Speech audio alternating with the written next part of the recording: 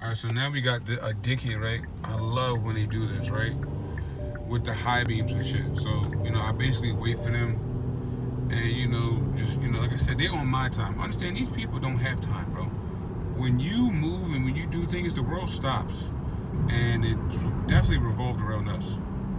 Understand? So that's why, you know, you you know, when you see these guys just pissed off, it's because not only when they're around us, they have to be reminded about where they're going. You got to be reminded about the state that they're in. You got to be reminded about they're not special. They're not shit. They got to be brought back down to earth when we wake up now. It's kind of like they got to be brought back to earth.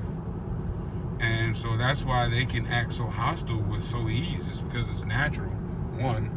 And two is because you're, it's like, you know, it's like you're going to a party and, uh, you know what I mean? And it's like, I don't know, you like the police follow you. It's like you just fuck up a party for these people.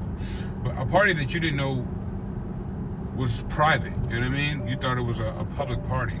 It's, it's a private party. It's a satanic, sadistic, uh, sexual party.